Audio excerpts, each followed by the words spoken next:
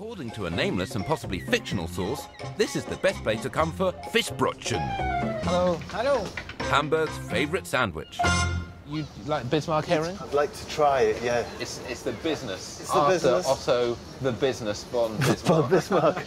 Could I One of have them. one of those? Because I like my food to look as little like the thing it first was. 790, please. 790. Hey, now, Flipping competitive. isn't it though? Thank Yeah. you very much. Yo. Thank Bye-bye. If you have a passion for seeing ports up close, you can spaff a stack of euro for a harbour cruise, or just jump on the number 62. This is glamorous, isn't it? It's like a triangle reboot. But with more plot. Take a bite of Bismarck. When it was seven euros ninety, I thought that's cheap, but Yeah. I can really taste the savings actually. like this. Joe, it ain't that bad. Give me some facts, man. You see that rhombus-shaped building over there, Bob? Yep. That marks the official entrance to Hamburg Docks. Hamburg Docks. Does it have a formal name? It's the Docklands office building. hey, but look, you've never climbed up the side No. of a building before. We simply can't believe our good fortune as the shipyards and the fish market, which has been open for sea produce since 1703, glide by as if in a dream.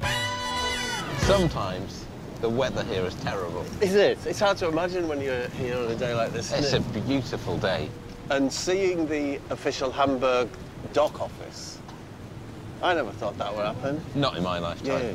I'll never play Clapton Strat, and I'll never see Hamburg's dock office. No. You just live your life believing that, you know? Yeah. The vessel comes to a seamless stop.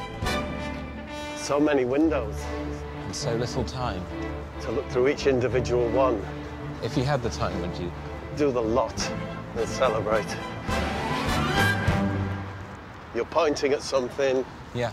Zitronjette. I don't know if I'm pronouncing that terribly well. and what's the story? She sold lemons Right? by the harbour, as represented by this basket of lemons. Yes, that's just a representation of lemons. it's not yeah? actual lemons. Okay.